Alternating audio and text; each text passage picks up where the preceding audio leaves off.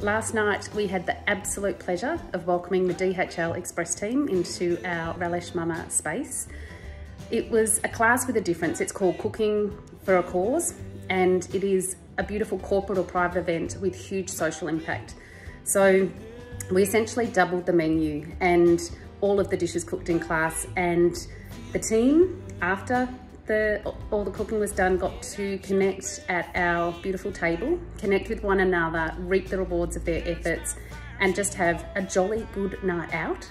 Um, and the rest of the dishes, dishes, we all packaged up together and I am off to deliver those to um, a charity that is very much in need. So thank you DHL Express for choosing this event. You have made an impact.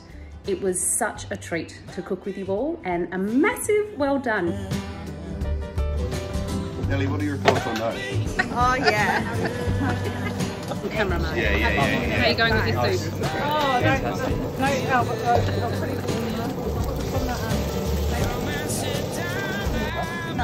Nelly, is this what you pictured? Yes. Yeah. You've done an awesome job.